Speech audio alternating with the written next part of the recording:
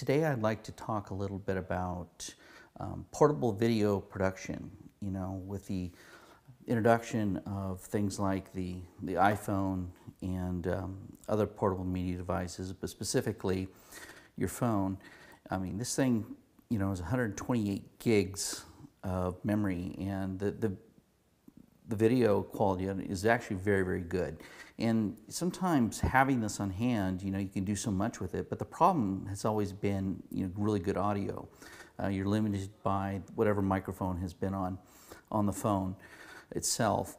So today I'd just like to talk a little bit with regards to uh, gear that you can get, and fairly inexpensive gear, but really good gear if you have like an interview that you need to do, but you don't necessarily have the means to take all your regular um, professional recording gear with you, but you still want to get a capture a good good video and maybe uh, the the audio as well.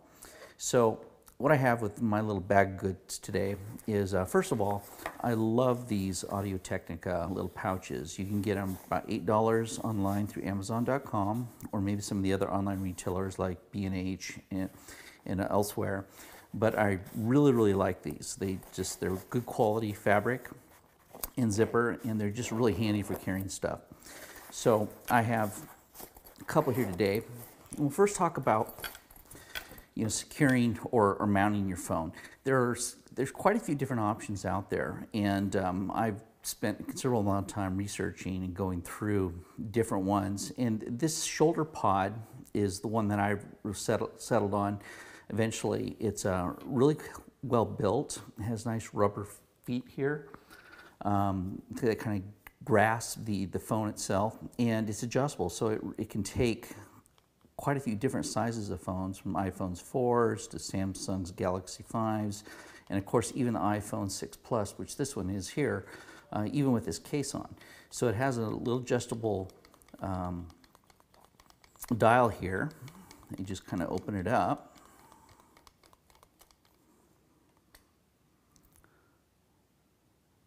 There, and then just go ahead and tighten the top just enough to secure it. And that's actually pretty secure. You notice that um, it's not going to go anywhere. Uh, the cool thing about this is too is on the bottom here, it, take, it has a standard quarter inch screw mount. And, uh, and th this is weighted so with a, with a strap, so if you're not going to mount it on anything, you can actually hold it. And this is fairly comfortable with this weighted bottom here. But for myself, I also got myself an Oben TT100 uh, little mini tripod. And uh, these tabletop tripods, I looked at quite a few of them, and including the Manfrotto, and I felt that this one actually was just built better in, in so many, and has a little bit better features. Um, it's, it's metal, all metal, and um, this portion here with the ball mount actually does come off itself, so you can even bring it down further if you wanted to. But with the ball mount, you can actually then mount this thing um, like this in a vertical or in a, uh, a portrait or in landscape mode. So go ahead and we'll just add this to here. And then we can position the phone and the camera any way we want to. So this is a really nice. I was really, really impressed with the Oben, I believe that's how you pronounce it, TT100. They do make a um, model that has an extended riser um, for a few more dollars. It's not very expensive. It's, uh, I think, about $40, I mean, for that, that model. Um, but this is fine in terms of, of mounting it, and there, there are other solutions out there, though this is the one I prefer. But the really big question is how do you get really good audio, quality audio? And, and having a balanced mic is, is really the different, all the difference in the world. Uh, so uh, doing a little research, I found the iRig Pro. They have one that's very similar to this called the iRig Pre. And it does almost everything this does, but the exception is it's analog input. I was looking for something that was digital, pure digital. And this is this fits the bill, and it comes with several different connectors here. Um, mini DIN this one here plugs into the iPhone standard um, iOS a new new version, and they do have a legacy cable that comes with it. It also plugs into uh, uh, the the older iOS devices, but this just plugs in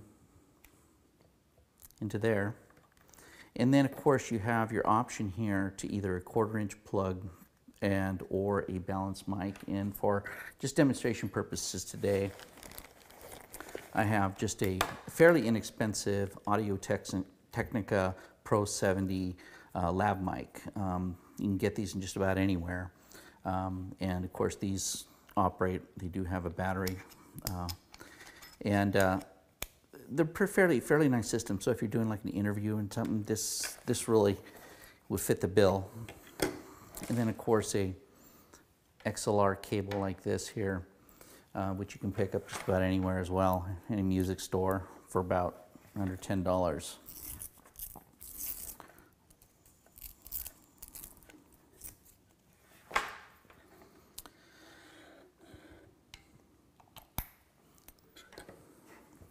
So as you can see here, this plugs in fairly simple. And it has a 9 volt battery in here. Uh, it does provide phantom power here, which is really nice, as well as a MIDI port in. So this device is, is fairly compact. Um, unfortunately, unlike the iRig Pre, it doesn't have a means by which you can strap it by itself, you know, if you wanted to like strap it to a tripod or something like that. Um, but um, a little bit of ingenuity, it wouldn't be too difficult to do that. The only complaint I have about the iRig um, is that it's got a smooth dial here, and I, perhaps they, they purposely did it that way uh, to keep it somebody from moving it once the, the settings have been uh, set. But it's a little sometimes a little bit slick to try to move.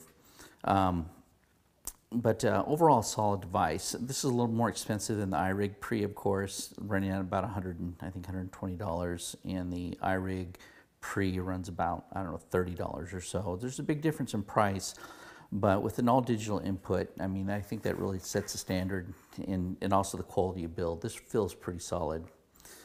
Now for um, for audio or, or video input, um, there you can use a standard Apple uh, camera mode in the, in the video, or I, you can you know bump it up and pay eight dollars and buy the Filmic Pro app. And this is a really solid app. I'm really been pleased with it in terms of this functionality. Uh, but you can see here that uh, it gives all types of an options for um, both audio settings and, uh, and video settings alike. And just for this demonstration, I'm going just going to show you, you know, the benefits of having uh, audio in, direct audio in, so we're going to turn this on and apply phantom power. And you can see the levels here go up as I talk. And uh, so we don't get any clipping, obviously. But, um, you know, you can see over here on the left-hand side, you know, it's bringing the audio in. Um, the levels are somewhat low at this point. Just bring it up a little bit more.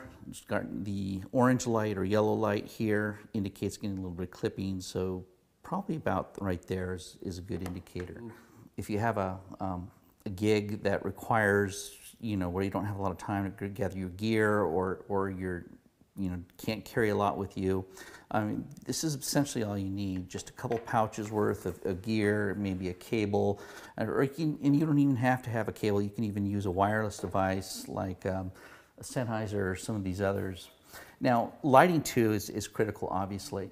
These are a wonderful device here. These are um, the Chinese made. They're called the HDV Z96, and you can get them on eBay and a bunch of other places. But uh, this is these are LED lighting with um, uh, magnetic uh, filters on them. They come with an, an orange orange uh, diffuser as well. Um, of course, with a standard, you know, quarter inch there, and they as far as power is concerned, you can use standard Sony lithium batteries, which come a dime, dime a dozen, um, fairly inexpensive to buy, um, or just use regular uh, AA batteries in here, or last case scenario, you can even plug in a power supply here for it. Um, so you have multiple options this this little light, and, uh, and of course it's, it's a, a dimmable, so you can adjust the intensity of, of the light there. But um, you can see adding that in the background. You know, you can bring a couple of these with you, and then if you wanted to go any further, and and bring a, uh, a stand. These stands are real inexpensive. Um, you can do that as well. So, just showing you what I use when I go on a um, a single shot and I don't have the means to carry a lot of stuff with me. You know, just my phone, a mini tripod, um, maybe uh, and a mic and, a, and a, a, cable, and then of course my iRig uh, Pro to come with me. Um, and um, and of course everything's built in. I mean the the cameras or the uh, the recording capability, especially the iPhone 6 Plus, is quite a long time. You can practically shoot a whole motion picture film and then some on this. Um, so it really makes it convenient. And now with the ability to put digital audio directly into your, your video um, is, is really the primary thing of, of excellence because too often times nothing kills a good video with bad audio and uh, especially the clarity of the audio. Uh, so this will help uh, remedy that completely. And really, in terms of cost, we're looking um, for all this gear, you know, probably under, right under um, about $200 uh, for everything here, minus, I should say, the lav mic. Uh, lav mics, you can, you know, they have all different kinds of flavors, and you can go, you know, over the top with, with an expensive one, but uh, you can find some used ones that would probably work for you. But uh, for the most part, you're looking at a setup about $200 that will give you the ability to just do a, a simple high quality, somewhat high quality video. Uh, and you can of course render this and do any effects you need to in post. But anyway, I'd just like to share what my um, setup looks like. Anyway, I hope uh, someone finds this useful as uh, and takes a little bit of the guesswork out of trying to figure things out by themselves. Thanks.